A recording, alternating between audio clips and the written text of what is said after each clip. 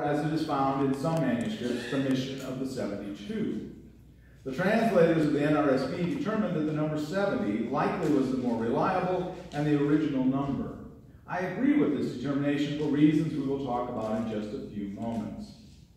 The story we're looking at today follows behind the story of the sending out of the 12 disciples in chapter 9 and the feeding of the 5,000. It directly follows where we are told in Luke chapter 9 that Jesus has made his final turn towards Jerusalem. Time is running short now. Jesus sends these 70 out ahead of him to prepare the way in the towns he has yet to visit, or perhaps to revisit. One can question whether he is sending the 70 out because he doesn't believe he has time to visit all the locations he had intended. But to me in the Greek, the idea that these are is the, the idea that these are advance parties seems to be fairly obvious. Jesus' ministry isn't just a haphazard trip through what we call today the Holy Land. He has a plan, and he is sending people ahead of him to make arrangements for the success of his ministry. If we truly wish to follow his ministry model, then we too need to plan according to God's will and accept the call when given to go ahead to prepare the way. Let's now turn to the text and hear what the author of Luke and Acts is relaying to us. Luke chapter 10, verses 1 through 20. The mission of the 70. After this, the Lord appointed seventy others and sent them on ahead of him in pairs to every town and place where he himself intended to go. He said to them, The harvest is plentiful, but the laborers are few. Therefore, ask the Lord of the harvest to send out laborers into his harvest. Go on your way. See, I am sending you out like lambs into the midst of wolves. Carry no purse, no bag, no sandals, and greet no one on the road. Whatever house you enter, first say peace to this house, and if anyone is there who shares in peace, your peace will rest on that person. But if not, it will return to you. Remain in the same house, eating and drinking whatever they provide, for the labor deserves to be paid. Do not move about from house to house. Whenever, whenever you enter a town and as people welcome you, eat what is set before you Cure the sick who are there, and say to them, The kingdom of God has come near to you. But whenever you enter a town and they do not welcome you, go out into its street and say, Even the dust of your town that clings to our feet we wipe off in protest against you. Yet know this the kingdom of God has come near. I tell you, on that day it will be more tolerable for Sodom than, that, than for that town. Woe to you, Chorazin! Woe to you, Bethsaida! For if the deeds of power done in you had been done in Tyre and Sidon, they would have repented long ago, sitting in sackcloth and ash. But at the judgment, it will be more tolerable for Tyre, Tyre and Sidon than for you. And for you, Capernaum, will you be exalted to heaven? No, you, Capernaum, excuse me, will you be exalted to heaven? No, you will be brought down to Hades. Whoever listens to you listens to me, and whoever rejects you rejects me and whoever rejects me rejects the one who sent me. The seventy returned with joy, saying, Lord, in your name even the demons submit to us. He said to them, I watched Satan fall from heaven like a flash of lightning. See, I have given you authority to tread on snakes and scorpions and over all the power of the er, enemy, and nothing will hurt you. Nevertheless, do not rejoice at this, that the spirits submit to you, but rejoice that your names are written in heaven.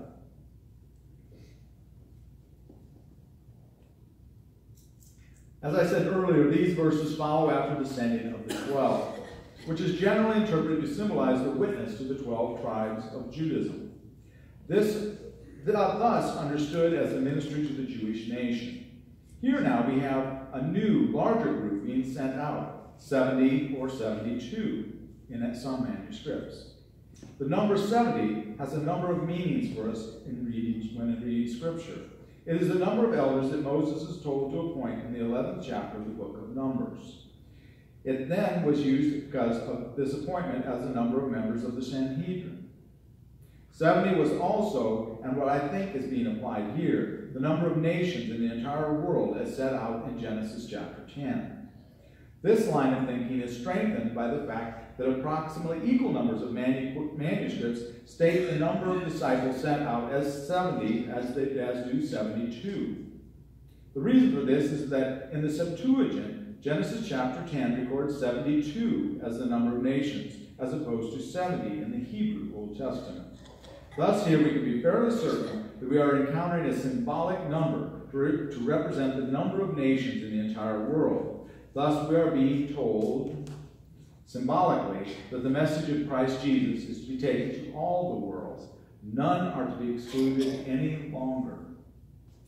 These disciples are sent out in teams of two, likely due to Jewish law pertaining to a reliable witness requiring two individuals, and due to the great dangers of traveling in biblical times.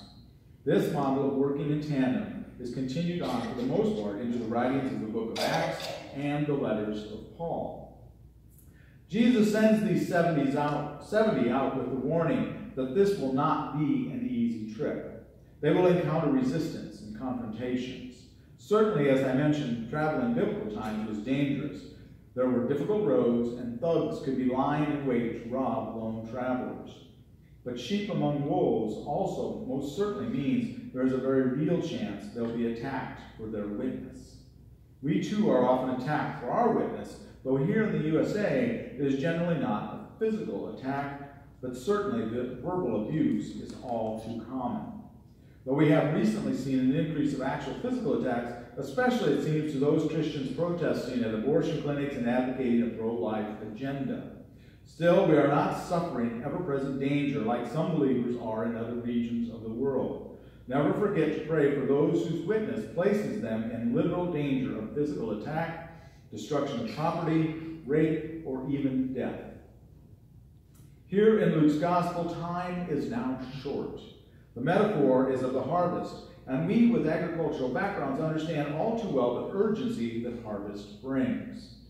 There is no dilly-dallying to be done. Jesus sends these 70 out almost like light infantry troops. They're scouting or advance parties.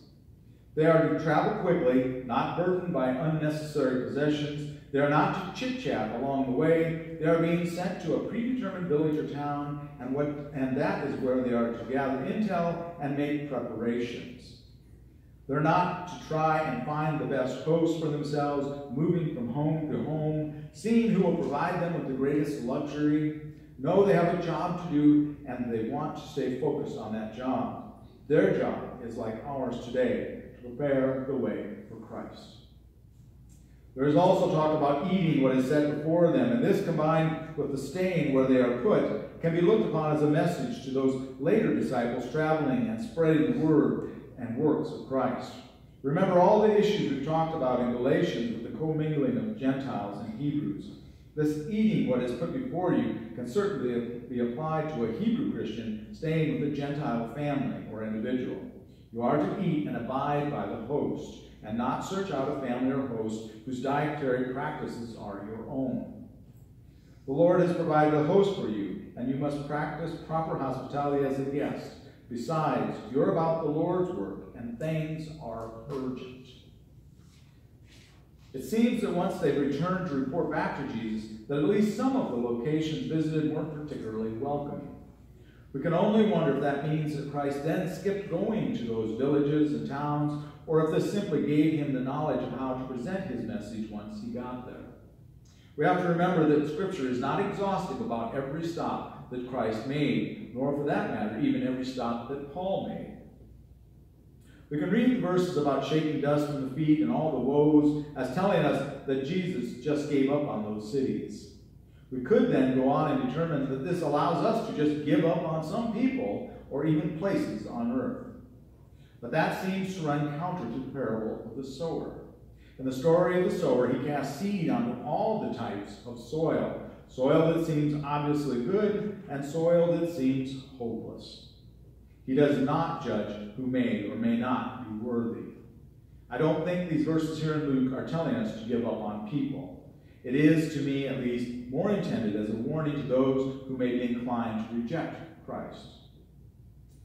There is a certain allowance for grace strangely hidden in these verses of woe. For Jesus says those great sinners in Tyre and Sodom, and even the much maligned Sodom, will have it better at the time of judgment than Bethsaida and Capernaum. Jesus lived in Capernaum. And it's believed that the disciples lived in Bethsaida after Jesus' ascension. Certainly there was a church in Bethsaida very, very, very early on, and its actual remains have been discovered. If things are going to be better for these three long disparaged cities than they will be for cities that were blessed with Christ actually living there and or the disciples living and ministering there, then can we not see that there is some hope for grace for the most lost and defiant of non-believers today? We are called to cast our seed like the sower of the parable on all soil, rocky, thorny, salty, and what have you. We are not to judge. The only judge is Christ. We are the workers preparing the way of the Lord. We are being sent to work among the thorns and the rocks, even throwing seed where we think it's an absolute waste of time. I have often held forth that it's not for us to know what seed sprouts and what seed flourishes. We are called to assist God with the planting, to water, to nurture, to guide, but the harvest is God's alone. Luke uses the metaphor of harvest, but surely the real harvest is by God's hand alone. Only our egos make us want to count the noses of those whom we've saved. But I can tell you all exactly how many you've all saved. Zero. They've all been saved by God. You can, and we all should, submit to being God's hands and feet, but you need to leave your ego out of it. This need to leave behind, or at the very least keep our egos in storage, is the warning that Jesus gave to the 70 to us by extension in these verses.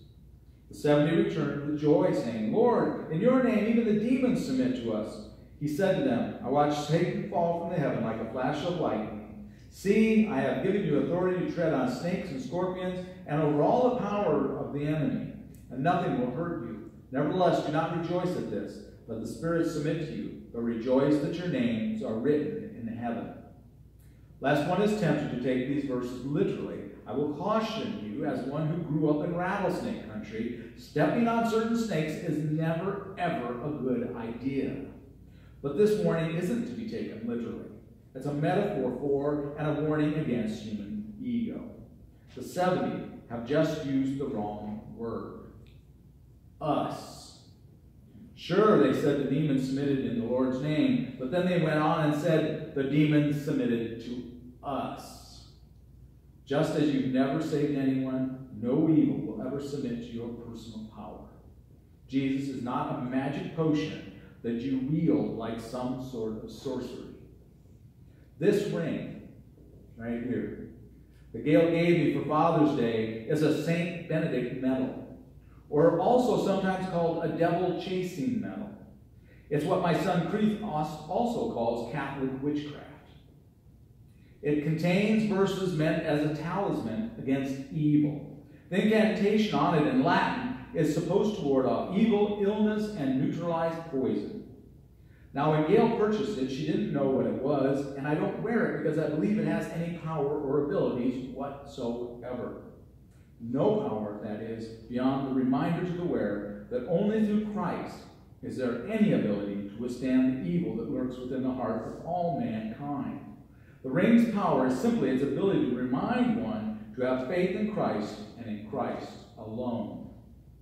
There is no more magic in this ring than there is inside of me the ability to bring any one soul to Christ. Both the ring and I are only reminders of the power, love, grace, and glory of God the Father. Each of you, too, are reminders to the world of the power, love, grace, and glory of your Lord and Savior. Remember that when you go out into the world.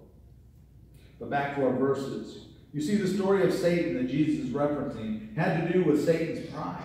He elevated himself to being equal with God, and thus his pride, his ego, poisoned him. And he believed himself the more powerful, or at least as powerful, as God. Remember that the story of Satan is that he was the most beautiful and favored of the angels. Here, in relaying the story of Satan falling from grace, Jesus is not trying to paint a picture of the end times, but rather warning the disciples and all of us to keep our egos in check. It's not about us. It was never about us. It's all about God and doing God's work of bringing his children into a loving relationship with God. Paul warns us about ego and doing the Lord's work in the first chapter of 1 Corinthians. What I mean is this. One of you says, I follow Paul. Another, I follow Apollos. Another, I follow Cephas. I, still another, I follow Christ. Is Christ divided? Was Paul crucified for you? Were you baptized in the name of Paul? I thank God that I did not baptize any of you except Crispus and Gaius, so no one could say that they were baptized in my name. Yes, I also baptized the household of Stephan. As beyond that, I don't remember if I baptized anyone else. For Christ did not send me to baptize, but to preach the gospel, not with wisdom and eloquence, lest the cross of Christ be emptied of its power. For the message of the cross is foolishness to those who are perishing, but to us who are being saved, it is the power of God. For it is written, I will destroy the wisdom of the wise, the intelligence of the intelligent I will frustrate. Let me interject that I love these verses written by Paul, for it shows his humanity in not being able to remember who or even how many he baptized. He's so very human here, someone we can relate to, and I love that part. But I digress. Paul is warning those in Corinth and us to remember that it is Christ that we follow and serve. It's not about our wisdom or our eloquence. It's not about a slick package or a powerful sermon delivery. It's about the grace, the forgiveness, the love of Christ. When we start thinking it has anything to do with us, then we're in danger of failing or falling just as Satan fell. And maybe even worse, we're trying to empty the cross of Christ of its power. Not that I think that we could ever accomplish such a thing. But my friends, we are told to rejoice. Rejoice that your names are written in heaven. Through our faith in Christ Jesus, we have received the grace of God. And even though we are lowly sinners, our names have been engraved in the book of life. They have been written in heaven. Let us pray. Dear Father, Abba, Creator, Lord, we thank you that through the life, death, and resurrection of Christ Jesus, that we have been welcomed into your blessed kingdom. We, through, through our human, our evil human nature, are not worthy of being in your presence, have been renewed, redeemed, renewed, restored, recreated into the very children of God. Thank you for that blessing beyond all blessings. As we who are gathered here go forth into your creation here on earth, O Lord, use us as your hands and feet to reach those who are lost and hurting. Through your name, your love, your grace alone, let the children all come to you and abide with you forever. Praise be to God and God alone